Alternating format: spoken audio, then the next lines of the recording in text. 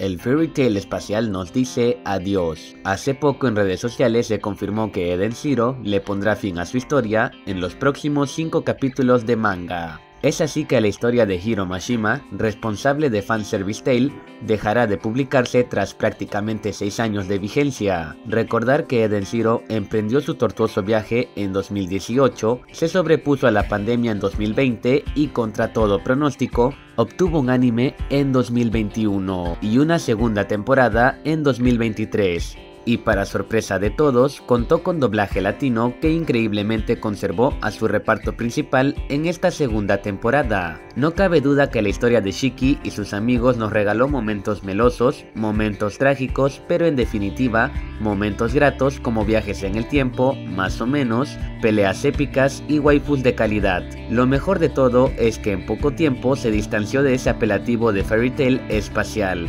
creando su propia identidad. Una pena que en 5 capítulos se acabe esta historia, ya que en el último arco se está dejando de lado algunos elementos con tal de llevarnos al final que, ojalá, no se sienta forzado ni apresurado como otros ejemplos que no vale la pena mencionar. Y no, no hay tercera temporada confirmada del anime a la vista, pero quién sabe.